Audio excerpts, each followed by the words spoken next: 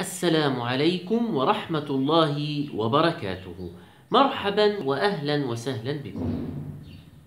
ربما سمعنا عن الأكسدة التي تحدث في خلايا الجسم. ولكن هل فهمنا ما معنى الأكسدة؟ ولكن قبل أن نعرف الأكسدة هنا يجب أن نعرف ثلاثة أشياء. ما هي الذرة؟ وما هو الجزيء؟ وما هو الإلكترون؟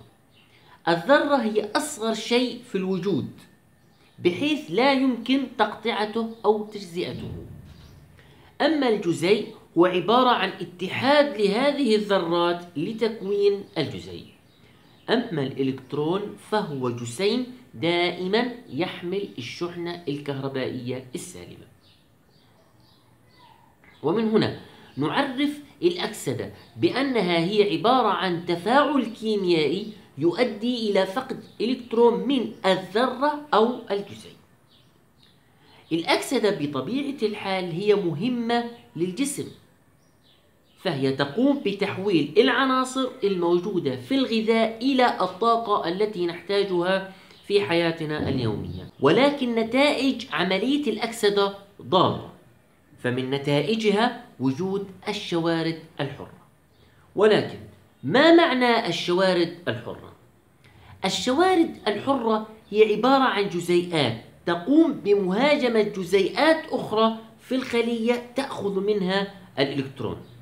هذا الإلكترون تم فقده في السابق نتيجة عملية الأكسدة. ونتيجة لذلك تصبح الخلية ملتهبة. تصبح الخلية عرضة للتلف. كما تصبح عرضة للإصابة بأمراض السرطان. ومن هنا يأتي دور المواد المضادة للأكسدة لإنقاذ الموقف. فهي تقوم بإعطاء الإلكترون لهذا الجزيء لترجع الخلية إلى حالة من الاستقرار والتوازن. دون أن تصاب هذه الخلية بالتلف.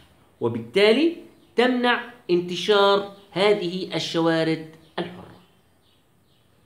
وعلى الرغم من أن الجسم يقوم بصنع مواد مضادة للأكسدة إلا أننا نحتاج إلى كمية إضافية من هذه المواد عن طريق الأغذية التي تحتوي على مواد مضادة للأكسدة.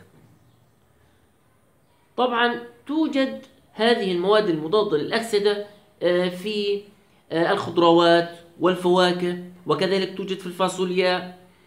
آه، وغيرها من الأغذية التي تحتوي على مواد مضادة للأكسدة ومن هنا نحرص على تناول الأغذية التي تحتوي على مواد مضادة للأكسدة وقبل الختام أتمنى إذا أعجبكم هذا الفيديو أن تشتركوا في هذه القناة وتفعلوا زر الجرس ليصلكم كل ما هو جديد.